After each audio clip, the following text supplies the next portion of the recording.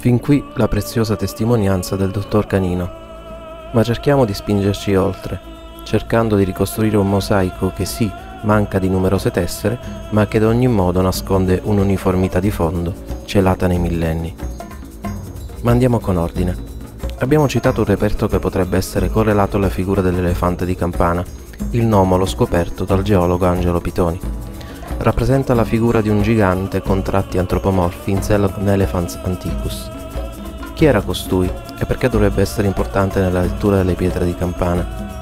Angelo Pitoni era esperto in pietre rare, esploratore di luoghi remoti, scopritore di miniere e scopritore di reperti archeologici unici anche in Africa, la Skystone, la Dama del Mali e i Nomoli. Quest'ultimi scoperti durante la valutazione di giacimenti minerari Pitoni, dopo aver dialogato con alcuni capi tribù della zona, venne a conoscenza di un mito locale molto simile come concetto a quello dei Nefilim in Mesopotamia. I mitici angeli caduti, di cui si parla anche in varie culture. Nei racconti locali si fa menzione a uomini in pietra come gli angeli che Allah scagliò nell'abisso. Durante gli scavi in un sito alluvionale a pochi metri di profondità vi vennero infatti le prove di queste leggende, i nomoli appunto statuette di granito alte dai 20 ai 40 cm, alcune cave che rappresentano soggetti con struttura antropomorfa, ma che evidenziano anomalie stilistiche piuttosto evidenti e non riconducibili a tecniche costruttive autoctone. Il topos nomolo è molto aderente al topos nommi, termine usato dai Dogon per indicare gli esseri con la pelle luccicante provenienti da Sirio B, giunti dal cielo in Africa in tempi remoti.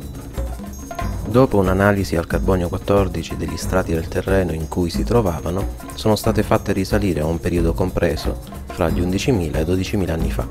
Un periodo in cui l'uomo, almeno secondo la storia ufficiale, non poteva scolpire il granito né renderlo cavo inserendo sfere di acciaio cromato senza evidenti aperture o segni di assemblaggio. Se accostiamo la rappresentazione del nomolo alla figura dell'elefante, notiamo subito delle somiglianze sorprendenti quando focalizziamo l'attenzione sulle proporzioni del cavaliere. In entrambi i casi, tralasciando le differenze di scala, il cavaliere è una figura colossale e gigantesca, molto più alta dello stesso elefante. L'elefante di campana è di fatto, in quella scena, un mezzo di trasporto simbolicamente e forse anche oggettivamente adeguato ad una figura così grande. E non solo, a pochi metri sono presenti delle gambe ciclopiche di un'altra figura colossale, la quale potrebbe essere accostata all'iconografia delle divinità sumere con il corpo da sfinge, così come le si vedono all'ingresso dell'antica città di Ninive. Si potrebbe anche dire che le gambe ciclopiche potrebbero appartenere ad una figura antropomorfa, che sembra seduta su un trono, se diamo per buona la similitudine che si ha nel paragonarla ad un regnante o addirittura a una divinità egizia o sumera. La scena quindi ricorda la ricostruzione di un avvenimento che potrebbe essere la consegna o il ricevimento di un dono fra le due figure di campana. Ma perché esseri così grandi?